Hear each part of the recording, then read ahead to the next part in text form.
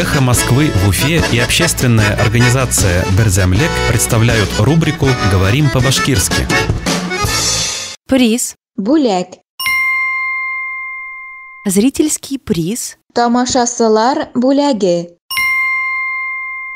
Зрительский приз. Тамашасылар бүләге. Фильм «Сестренка» завоевал гран-при и зрительский приз на кинофестивале в Москве. Һеңлем фильмы Мәскәү кинофестивалендә Гран-при һәм тамашасылар бүләге яуланы. Фильм «Сестренка» завоевал гран-при и зрительский приз на кинофестивале в Москве. Һеңлем фильмы Мәскәү кинофестивалендә Гран-при һәм тамашасылар бүләге яуланы.